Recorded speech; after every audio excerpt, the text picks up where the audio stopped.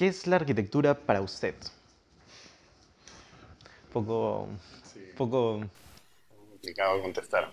Eh, bueno, no es una sola cosa, ¿no? Son varias cosas. Eh, de, de un modo general, es una manera de entender las cosas. Eh, es una manera de empezar a pensar cómo funcionan las, vamos a decir, las relaciones sociales, las personas, las ciudades. Y también puede ser solamente un oficio, o en el peor de los casos puede ser solamente un trabajo. Eh, al fin y al cabo es un poco de todo, para muchos.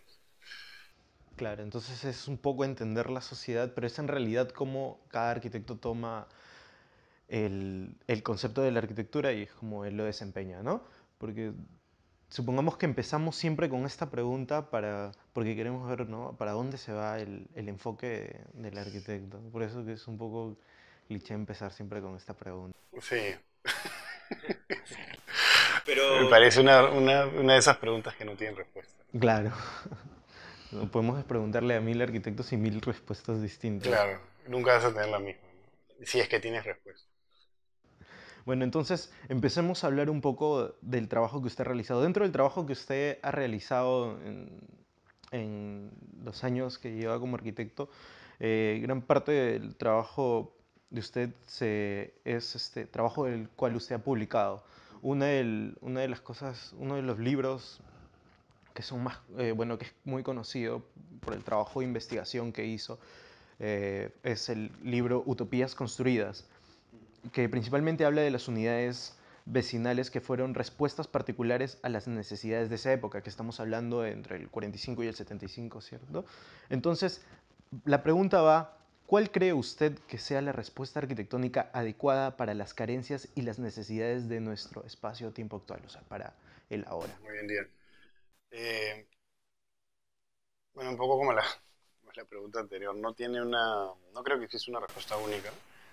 Eh, sino más bien yo creo que hay, que pensar ahora en múltiples respuestas y múltiples formas de, llevarlas a cabo.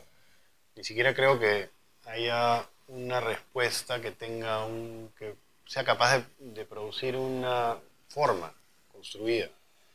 Eh, creo que la complejidad y la complejidad, vamos a decir, de las sociedades contemporáneas, la diversidad de, las, los habitantes en las ciudades eh, y lo difícil que es el acceso al suelo en el mundo actual, principalmente en el mundo capitalista, que, digamos, todo tiene un valor y siempre es, el terreno es especulación. Eh, no puede dar una respuesta como se pensaba en los años 40 o 50, que un, vamos a decir, un diseño un diseño que se vuelve un producto, eh, ya sea el edificio o el conjunto de viviendas, eh, sean capaces de absorber todas las necesidades de una población. Eh, digamos, ahorita la crisis de la vivienda tiene distintos niveles y en algunos casos puede resultar invisible, pero también hay demandas no cubiertas, que, digamos, tanto desde la clase, vamos a decir, o la clase media o la clase segmentos populares, ya no sé ni cómo llamar este, medianos ingresos, bajos ingresos, etcétera, porque ahora todo está en relación al, dinero y a los sueldos, es una cuestión eh, cuantitativa. Eh, en todos los niveles hay una dificultad de acceso a la habitación. Eh, entonces, es imposible pensar que una idea arquitectónica o un producto urbano va a resolver eh, necesidades a gran escala como ha sido eh, pensado durante mucho tiempo. Yo creo que desde los años ya 60 o digamos inicio de los 70 con la crisis del petróleo y la crisis económica que hubo en esos años, quedó bastante claro que el modelo que se había arrancado en los años 30 o 40 estaba agotado y que no daba para más. Y creo que después eh, particularmente en el Perú, después de los 80 se han marcado unas diferencias muy claras entre lo formal y lo informal, eh, que no son necesariamente una realidad. Eh, los proyectos que comienzan muy formales tienen ahorita, que han comenzado muy formalmente, a pues, terminar igual que un proyecto que ha comenzado de forma informal y que se ha ido formalizando. Entonces creo que hay muchos espacios intermedios y, un poco, digamos, intentando responder con algo concreto, creo que la respuesta eh, está más en no quiero dejarlo en cuestiones como de políticas públicas, porque es muy abstracto eso y demasiado banal en estos días, pero sí creo que las respuestas a la, vamos a decir, a la, no sé si es, hay una falta de vivienda, pero a lo difícil del acceso a la vivienda, eh, tiene que ser atacado desde eh, no solamente la construcción de edificaciones, sino también del diseño que tiene que ver con programas sociales, acceso al trabajo, acceso a los créditos, eh, distintos productos de, vivienda, distintos tamaños para distintos tipos de familias, en distintas zonas de la ciudad.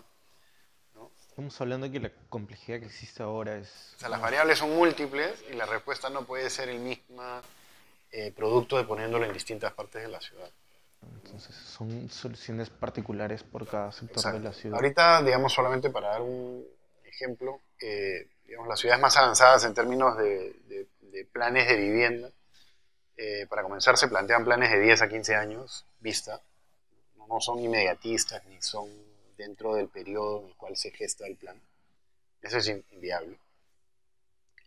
Y y después tienen una actitud eh, de inclusión alta, ¿no? donde eh, por una cuestión de, alcanzar eh, eficiencia urbana se densifican distintas partes de la ciudad, no solamente una. se intenta obtener viviendas en muchos lugares se llama viviendas de, de, protección oficial, que son viviendas donde no hay especulación en los costos, en distintos barrios después generar créditos para distintos grupos sociales, para distintas edades eh, que tienen distintas necesidades, eh, generar cooperativas donde no hay intermediarios. Eh, o sea, hay que pensar en todas esas variantes. Claro, estamos hablando de que es literal un problema. Sí, por eso digo que tiene que ser un plan a largo plazo donde también tome, se pueda tomar un poco de tiempo en pensarse, porque, digamos, con unas soluciones eh, inmediatistas que quieren ver resultados en un año, en un año no se puede ni hacer el plan. No, imposible. ¿Qué cree usted entonces de que, o sea, lo que pasa es que creo que plantear soluciones para una Lima en, anterior, en donde no se sabían ciertos, hasta dónde iban a ser sus ciertos límites, era una ciudad en expansión, un poco desordenada, pero actualmente ya existe una Lima de cierta forma, así sea difusa, es, ya está consolidada ciertos límites, ¿no? Entonces... También es, digamos, es complicado decir que ya está consolidada en ciertos límites. Yo creo que lo que tradicionalmente se ha llamado la Lima moderna, entre comillas, lo que los marqueteros han llamado la Lima moderna, eh, Arellano Marketing y toda su secuela de competidores, eh, es el triángulo entre el centro histórico, el Callao y Chorrillos, que es este triángulo con la costa verde cerrando el triángulo. Eso, evidentemente, hay una densidad ni siquiera buena, entre baja y decente, eh, pero sí está consolidada la trama, hay conectividad, hay conexión física, este, tiene servicios, tiene instalaciones básicas, la gran mayoría tiene cierto nivel de áreas verdes, vamos a llamarle a las libres, no necesariamente están verdes. Pues, Tiene equipamiento eh, y el resto, el Lima Norte, el Lima Este, el Lima Sur, etcétera, tiene carencias mucho mayores, tiene carencias de espacio público, de áreas verdes, de servicios, etcétera. Que poco a poco, a través de iniciativas privadas o básicamente de negocios particulares se están dando los servicios, pero siempre hay una ausencia del Estado enorme, las municipalidades eh, no tienen capacidad de actuación, ni siquiera pueden hacer que se respeten las normas básicas de humanidad. Eh, entonces, eh, digamos, pensar que Lima está consolidada en realidad es, un reflejo medio irreal, porque los bordes de Lima además van creciendo diariamente. Hacia, hacia el norte hay tráfico de terrenos, digamos, con bandas armadas, hacia el este igual, hacia el sur también, incluso hacia el, vamos a decir, hacia la parte central, interior, donde hay zonas como que deberían estar en, reserva por su valor ecológico, ambiental y paisajístico, como las lomas de Mancaes, por ejemplo, están siendo amenazadas por tráfico de terrenos, eh, por traficantes de terrenos. Entonces, digamos que los límites y los bordes son desgraciadamente muy flexibles y, por una cuestión de falta de presencia del Estado y por falta de condiciones eh, vamos a decir, de civismo, por otro lado. Entonces, digamos, yo diría que lo que hay que hacer es, lo primero, y es un poco lo que es lo más lógico, es comenzar por decir, hasta aquí llegó la ciudad, y lo que pasa, esta línea ya no es ciudad. Definir eso. pero, digamos, con cierta rigidez, porque cada alcalde en cada periodo cambia las zonificaciones, partiendo del desastre de la, alcaldía actual, del gobierno del, alcalde de Lima, Castañeda, que es terrible, que no ha sido capaz de tener un plan de ordenamiento territorial y un plan, de desarrollo. Claramente él trabaja sin un plan. Y lo defiende, defiende su improvisación, su falta de planificación, su falta de capacidad para Bueno, dejamos ahí esa pregunta, pero, pero quiero continuar con el, con, con el libro que usted publica, y, pero me quiero quedar en el título, porque usted utiliza el término utopía. Entonces, pero entonces buscando la definición de utopía, puedo definirlo como algo ideal o lo más parecido, lo más cercano a lo perfecto. Sin embargo, quiero escuchar cuál es su definición de usted para utopía ¿Y qué necesitamos para alcanzar esa dichosa definición, por más lejana o cercana que usted pueda decirla? Eh, a ver, el título tiene que ver con algo, eh, no, con una cuestión como muy práctica y con una cuestión sí más conceptual. Eh, en términos prácticos, ver desde hoy en día, como arquitecto, como historiador, un proyecto como la unidad vecinal número 3, construido en su integridad eh, en medio del Valle de Lima, en 1947, que estaba en obra, 48, 49 que se inaugura, eh, sin ser muy mezquinos, es haber logrado una utopía para el país de ese, entonces. Eh, digamos, es muy difícil hacer eso hoy en día. No se hace. No se hace ni con la misma calidad, ni con la misma, no voy a decir velocidad porque fueron lentos, se demoraron cuatro años más o menos entre que se empezó a gestar y se inauguró, pero digamos lo, lo complicado y lo difícil que puede resultar hoy en día hacer un proyecto de 30 hectáreas para miles de familias con todos los servicios incluidos y que funcione y que no esté enrejado y que sea parte de la ciudad y que tenga servicios públicos, que tenga colegios y que tenga costa médica y mercados. Un mercado cooperativo, además, que no hay la especulación de un privado, este, posta médica, iglesias, o sea, todos los servicios. Eh, algo que me parece como prácticamente es una utopía construir. Y muchas de las, de las unidades vecinales han sido eso, aunque han sido menos exitosas, vamos a decir, en su gestación y en su, sobre todo en su implementación. Porque claro, si ves la Universidad de Matute no se termina hasta 15 años después, y Rimac lo mismo, sufre, y después San Felipe se cambia el proyecto para poder acabar y no se acaba y se termina un poco distinto. Y al final, digamos, no se acaba dentro del periodo de la UNDE y lo termina habitando la gente cuando ya está el golpe militar de Velasco y Previ igual eran 2.000 viviendas terminadas. O sea, de los casos que se estudian, todas tienen un componente, eh, digamos, arriesgado, pero terminan construyéndose en partes, entonces son como, siempre son momentos como ideales que logran aterrizarse y eso me pareció potente eh, hacerlo evidente. Y por el otro lado, el lado conceptual es que es un oxímoron, o sea, una utopía no nunca se construye. o sea, deja de ser en el momento que se construye. Es un ideal. Entonces, si deja de ser, algo tiene que dejar de ser una utopía para ser una realidad. Y ese juego de palabras me pareció atractivo para una, además para una situación tan particular que se ha dado en la vivienda en el país, que siempre es como eh, demasiado compleja y parece un espejismo. Y por, la, por momentos se concreta y en otros momentos sigue siendo un espejismo. Hay miles de proyectos que no se han construido, miles de planes reguladores que no se han llevado a cabo.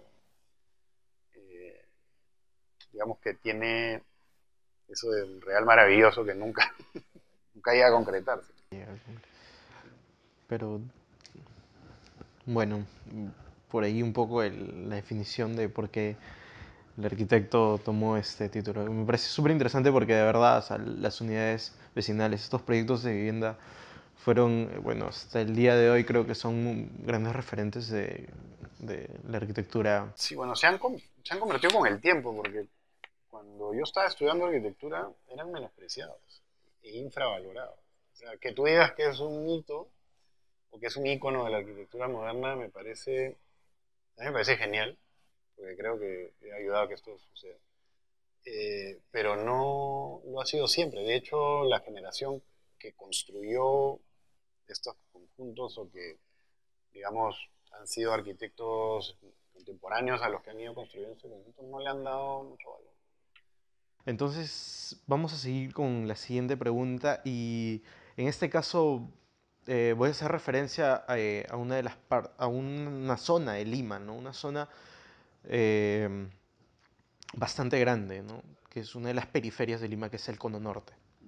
El Cono Norte que está representado por muchos distritos, entre los cuales están Los Olivos, Independencia, que han generado un, crecimiento económico importante, barrios eh, que se generaron en el tiempo por grandes invasiones y actualmente son centros urbanos poco ya consolidados, con expectativas económicas altas, pero que sin embargo los habitantes de estas zonas no se sienten augustos, no se sienten representados por este sector, no se sienten aún parte de, un sector de la ciudad, por lo que suelen migrar a otros distritos para sentirse con una mejor posición social. ¿Por qué cree usted que se da este fenómeno de migración actualmente en la ciudad de Lima? Interdistrital. Interdistrital, claro. O sea, estoy hablando de que en, esto, en esta zona de la ciudad, uno cuando llega a, un, a obtener una posición económica este, un poco mejor, lo primero que hace es migrar a otro distrito, mudarse. O sea, no, no, no, nadie se queda. No hay un arraigo ahí. No, nadie se siente representado por, el, por esta zona de la ciudad. ¿Por qué cree usted que se da, no? ¿Y cuál puede ser por ahí una solución para este sector? Bueno, digamos, la respuesta más fácil es que no hay espacios de encuentro ni de representación social. Eh, digamos, la primera que se me viene a la, a, la cabeza como un, digamos, un mecanismo de identificación con el espacio público y el espacio público te inmediatamente conlleva a una identificación con el espacio urbano y el espacio urbano te lleva a una identificación con tu entorno digamos, y las relaciones sociales que se producen en ese espacio urbano. Entonces, si no hay lo primero, que es el espacio público de representación y de intercambio, difícilmente puedes generar los otros espacios. de hecho, el éxito de los centros comerciales es porque son el espacio de intercambio y representación. O sea, Plaza Norte eh, es, digamos, la, no sé si la continuación, pero digamos, la alternativa a Megaplaza.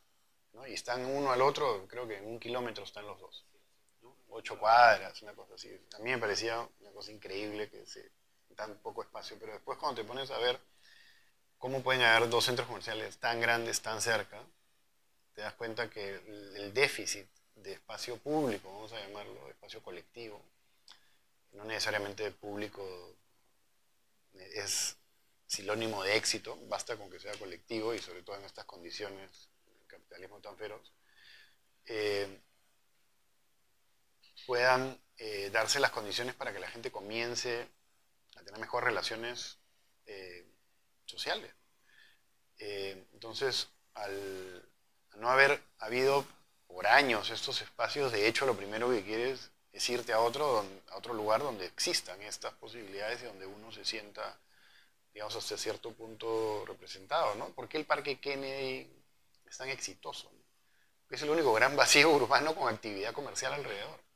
Ni siquiera la Plaza de Armas tiene la cantidad de actividades comerciales y de entretenimiento que pueda ofrecer Parque Kennedy. Entonces, eh, yo creo que al celebrar un, cualquier evento sociodeportivo como se ha convertido el fútbol, eh, si no pones la pantalla gigante en el, en, el, centro de Lima, en la Plaza de Armas, que es un acto populista, este, la gente se va a celebrar el Parque Kennedy, ah, sin duda.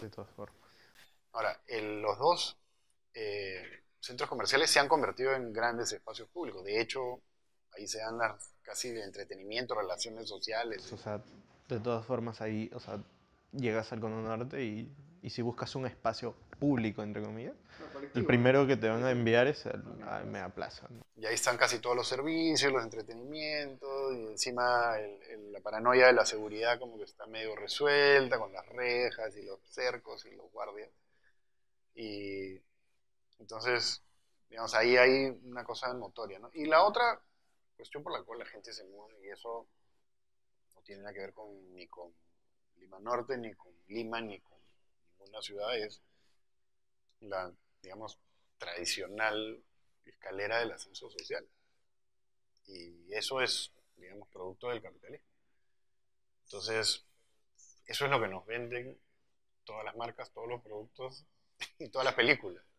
Entonces, luchar contra una construcción social que viene arrastrándose más de 50 años con la idea de la casa propia, el jardín, el perro, los dos hijos, el auto cuadrado en la puerta, eh, es muy complicado. Bueno, creo que ya hemos hablado un poco de Lima, de la Lima antes y la Lima de ahora, y sus periferias, ¿no?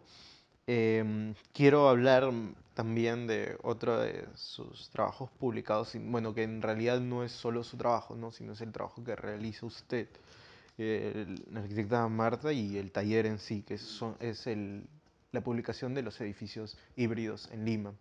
Y voy a extraer cierta, cierta cita del, del libro que dice, el edificio híbrido se presenta como una estructura arquitectónica capaz de responder a las nuevas configuraciones espaciales que demandan las actividades de la Lima actual.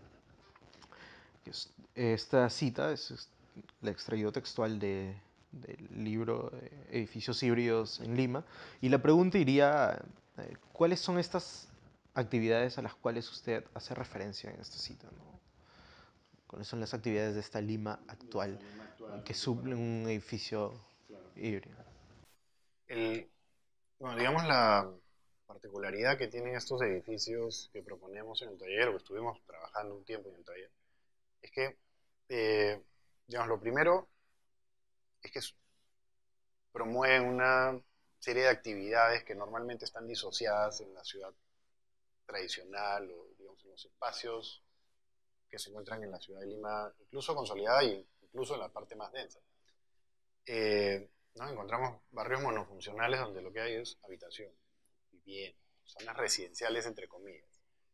Y no hay lugar para otras cosas, ¿no? Cualquiera de otro tipo de actividades excluido de esta especie de feudo y la gente tiene que ir difícilmente caminando y muchas veces en auto, en transporte público, a realizar cualquier otra actividad, ya sea deporte, educación, esparcimiento, comercio. Entonces, movilizarse a otro lugar para... Y genera pérdida de tiempo, gastos, etc. Bueno, entonces, lo primero es entender que muchos distritos de Lima, y sobre todo los más consolidados, sobre todo los más caudalosos en población, los más populares, si quieres verlo así, necesitan edificios capaces de absorber una serie de actividades eh, diversas, mixtas, que resulte un edificio que no, para comenzar, no tiene una definición exacta. No es, es más que un edificio público y es más que un edificio de usos mixtos. Un edificio de usos mixtos puede ser solamente un edificio de oficinas y comercio. Y con eso no solucionas ni el espacio público, ni, los servicios sociales, ni la educación, ni las actividades. ¿no? Exacto. Entonces, al pensar en un híbrido, significa que es un edificio que es capaz de absorber distintas actividades como deportes, educación, comercio, entretenimiento. Y estamos hablando que las relaciones entre estas actividades sean mucho más fluidas, o sea, sean muy distintas a simplemente una circulación vertical, que es un ascensor y un núcleo de escalera. Exacto. Entonces, en esos espacios donde también por la calidad del espacio y por la necesidad de las actividades necesitan, no pueden estar, digamos, una pegada a la otra, divididas por un muro medianero, necesitas unos espacios intermedios de transición, espacios de antesala para una actividad y que no, digamos, este, genere un conflicto con otra, etc. Y en eso se generan espacios intermedios y espacios de circulaciones, eh, vamos a llamarles, eh, capaces de absorber eh, cualquier actividad inesperada. Y ahí es donde también resultan aparecer espacios públicos, espacios colectivos, vamos a decir, de carácter público, que es capaz de absorber cosas no previstas. No todo tiene que estar diseñado. Y, esas son a eso nos referimos con las necesidades de la Lima actual. O Lima actual no es eh, una ciudad que tiene estabilidad, vamos a llamar, ni social ni económica, que uno pueda permitir y decir, este edificio va a ser solamente para eh, vamos a decir, posta, eh, o vamos a decir una guardería infantil. Porque en cinco años todos estos niños ya crecieron y van al colegio y no hay nadie en la guardería.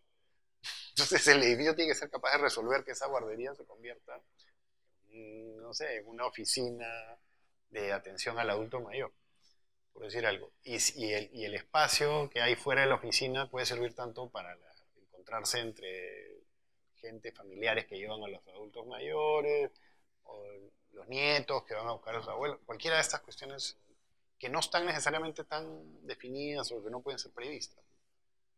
Entonces, digamos que nos, centramos en estudiar estas cuestiones que son nuevas en una ciudad densa y tratar de responder a distintos distritos con necesidades que íbamos encontrando a la hora de hacer el reconocimiento y las cartografías de uso del espacio urbano normalmente cuando uno analiza un plano, no sabes dónde están los ambulantes.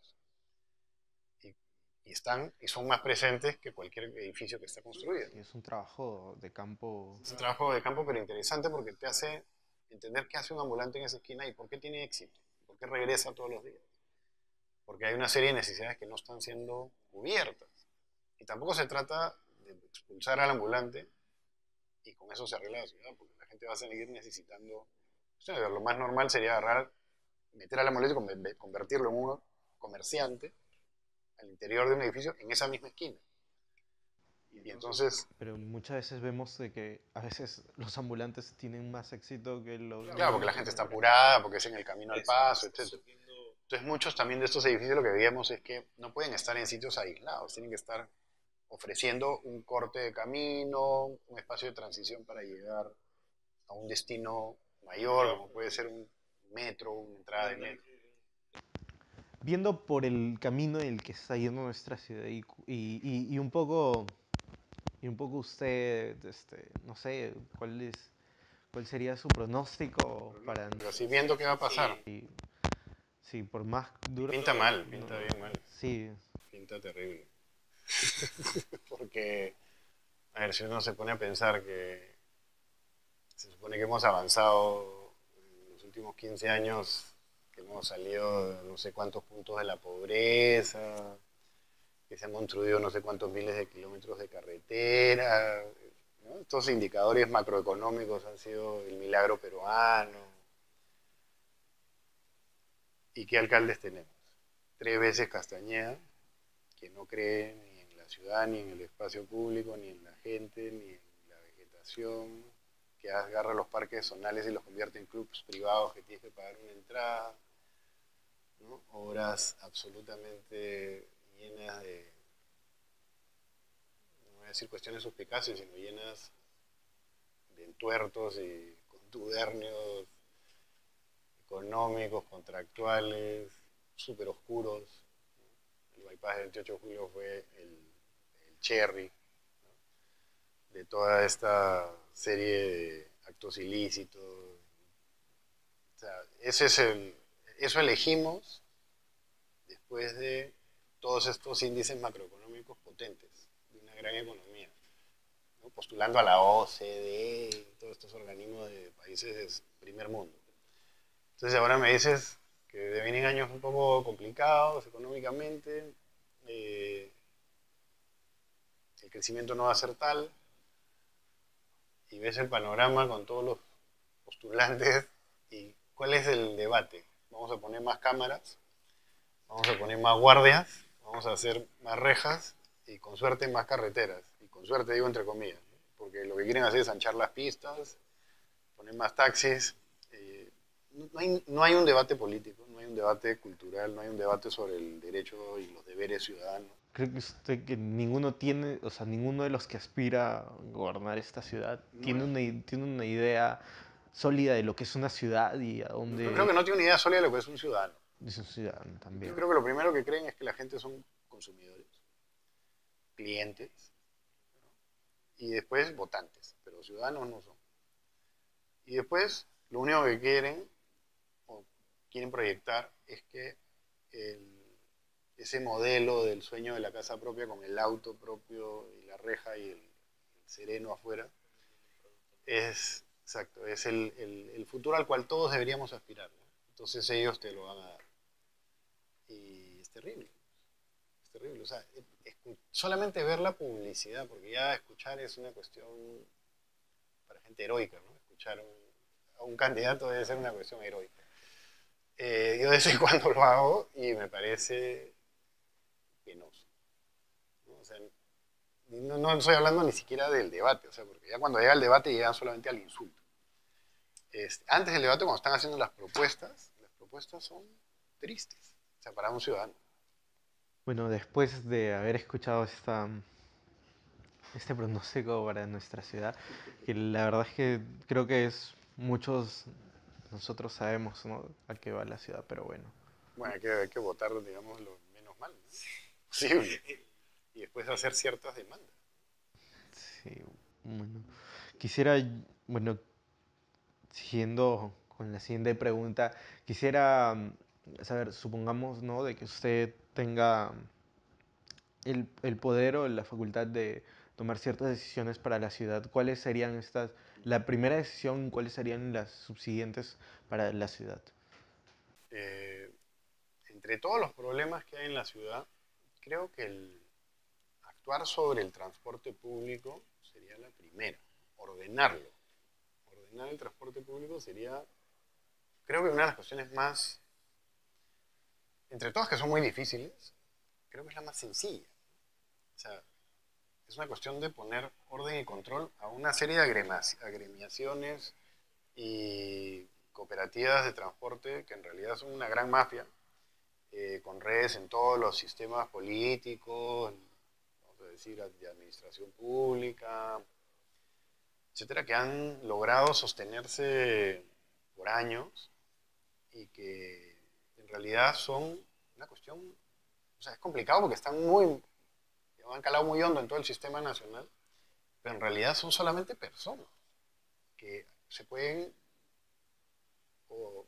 digamos, corregir o se pueden remover de sus cargos y se puede generar un nuevo sistema de organización para el transporte público que esté administrado de forma coherente y por el Estado, buscando el bien común, no el bien privado de cada una de estas compañías de transporte. Y en realidad ahí no hay que hacer grandes obras al inicio. Al inicio hay que ordenarlo, después hay que hacer obras importantes, pero digamos, una obra tan trascendental para Lima como el Metropolitano, en términos comparativos, ¿cuál ha sido la gran inversión? No es mucha, no es los 6 mil millones de dólares del Metro de Lima que todavía van en la estación en el segundo hueco, creo. Y han pasado cuatro años. Es una pista dedicada. No es tan difícil.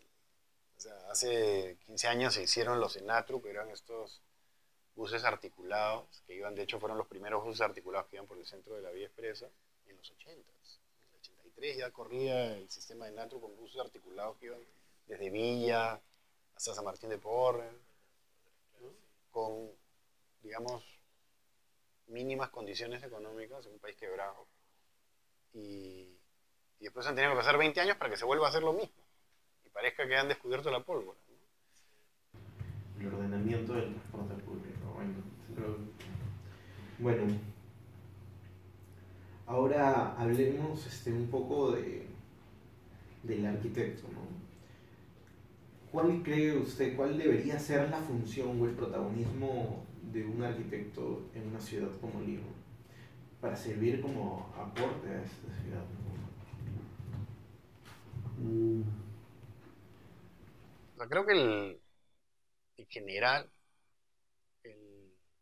la opinión de los profesionales, vamos a decir, los arquitectos como un profesional que sirve a ciertos aspectos de la ciudad, del funcionamiento de la ciudad, quedado eh, en el olvido para la opinión pública y en general para... Sí, la opinión pública es una manera de generalizar la prensa, los ciudadanos, el gobierno, los gobiernos locales, etc. cuando hay algún problema y uno ve, eh, ya sea en una conferencia de prensa o en una entrevista que hace un medio, o cuando sale algún responsable del gobierno a decir qué es lo que hay que hacer, ninguno de los que está ahí sentado es un arquitecto. Ya sea un desastre eh, vamos a decir, eh, tipo un incendio, o ya sea un fenómeno natural como un derrumbe, una lluvia, un terremoto, o ni siquiera con el funcionamiento de los parques o la seguridad ciudadana. Muchas de esas cuestiones parecen, parecen porque la gente no está acostumbrada, parecen cosas fuera de la arquitectura, pero son cuestiones que están en relación a la arquitectura. Hace poco, hace no mucho, veía un reportaje de cómo roban afuera de los famosos condominios cerrados con reja y muro, y justamente en Lima Norte. Y veía el reportaje y decía, pues es evidente, un muro ciego, sales, no te ve nadie, te asaltan a 30 metros de la puerta. ¿Quién te va a ayudar si los dos condominios son dos muros ciegos y estás en una especie de camino sin salida? Es evidente. Ese ha sido un diseño para robar quién ha autorizado ese diseño? El arquitecto municipal, ¿no? Y, los que han ido aprobando todos los proyectos, desde el diseño del... Tanta culpa tiene el que diseña el condominio famoso, como el que hace la sección de la vía en la municipalidad y como el que lo aprueba. Entonces, ahí está el trabajo del arquitecto. ¿Y por qué no hay ningún arquitecto? Están llamando a la policía, están llamando al de serenazgo, ¿no? Igual, viene el río, se lleva a las casas, empiezan a llamar ingenieros, meteorólogos. Y solamente hay que saber que ahí no se tenía que construir, que las calles no deberían estar al lado de la margen del río, que eso es una zona protegida, que hay planes municipales que se hicieron seguramente en los años 80, después del niño, del 83, que ya se había aprendido todo eso y se habían dejado esos márgenes que no se verán eran construibles y de pronto vienen las mafias desde adentro de la municipalidad incluso, y lo tizan, venden, ¿no? Y eso lo saben los arquitectos. Entonces, el, problema es que el arquitecto ha perdido credibilidad, no solamente credibilidad, perdido presencia. Bueno, entonces, para culminar un poco esta entrevista, esta conversación, usted que queremos dirigirnos un poco a nuestra principal plataforma seguidores que son los estudiantes de arquitectura, los arquitectos jóvenes. Eh, particularmente usted como arquitecto que se ha formado aquí en esta ciudad y que desempeña su trabajo aquí, ¿cuál sería el consejo, cuál sería el mensaje que usted le puede dejar al, al, estudiante de arquitectura o al joven arquitecto? la política? Sí, pero Supongo que no, no perder la fe, que se puede hacer las cosas un poco mejor. Eso es bastante. Eh, porque es muy fácil, eh, entre comillas, ponerte a trabajar o entender la arquitectura solamente como un trabajo. Y dejar de pensar que es mucho más que eso. Eh, yo creo que lo más lo más complicado es pensar que la arquitectura es mucho más que un trabajo. Y esa ilusión la tiene todo el mundo cuando va estudiando. Sales de la universidad, eh, te vas olvidando de eso. Y 10 años después ya la gente ni se acuerda. Entonces, el consejo es reforzarlo bien en la universidad, a ver si no te olvidas por un buen tiempo.